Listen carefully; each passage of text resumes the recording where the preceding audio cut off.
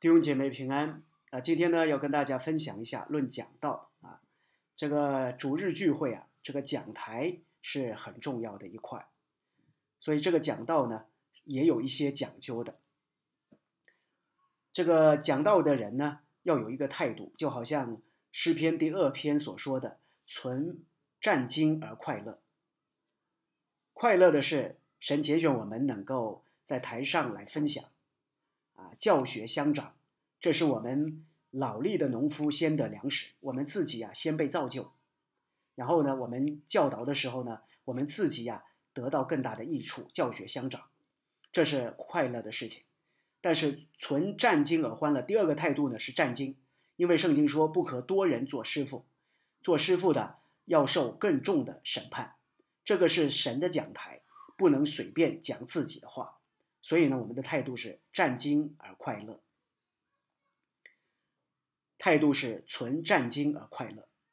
那讲到呢，有几个讲究。第一点呢，就是言之有物啊，就是讲到的时候要有内容，内容里头呢要有神，要有主耶稣。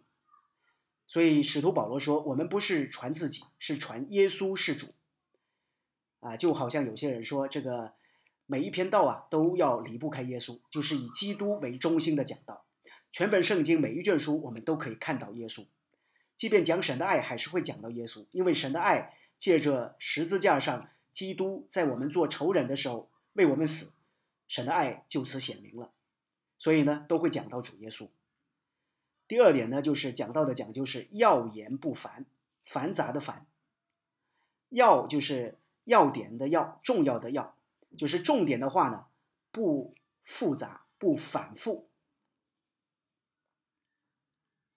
这个是要言不反，就是要精炼啊，大概三段五段啊都可以。如果是比较的话，两段也可以，三段五段，不要七八点、十几点啊，那人家可能就受不了啊，消化不了啊。所以要言不反。第三个要点呢，讲到的讲究是引人入胜啊。讲道里面除了真理的内容之外，要有故事比喻，啊，要切题，用故事比喻来衬托真理，让真理更显明啊，讲的引人入胜。主耶稣是很会讲道的，主耶稣讲了很多的比喻，很多的故事啊，所以主耶稣还没上过学堂呢，他怎么会懂这么多的比喻比喻故事呢？除了耶稣是完全的神，啊，有神性之外，有神的智慧之外，其实。这个世上的比喻故事啊，其实俯拾即是，只要你善于观察，有很多生活周遭旁边的事都可以成为比喻。所以，我们善于观察，善于收集，我们就有足够的比喻啊、故事啊，能够来阐明真理啊，讲的引人入胜。这个故事比喻呢，就好像啊一所房子的窗户啊，房子不能没有窗户，没有窗户就觉得很压抑。全部都是讲这个理论，这个这个言辞，人家就会显得啊，听的就有时候可能会比较枯燥。但是窗户又不能开太多，你不能通篇的道全部都是比喻故事，那就有喧宾夺主之嫌疑了啊。所以这个引人入胜呢，要恰到好处啊啊，过于不及都不行了。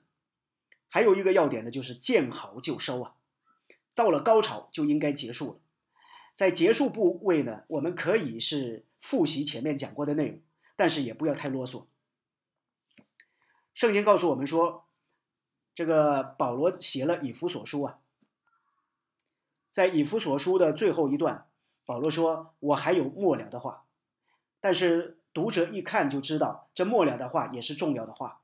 所以，当我们讲到最后最后一段，还要是非常重要的内容啊，不能是可有可无的，不过是占满时间而已。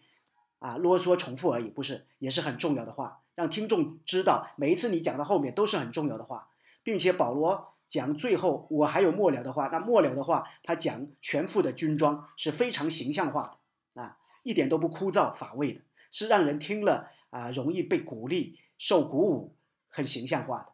所以呢，保罗也是很会讲道的，所以这些呢，给大家有一点点的参考。愿神祝福您。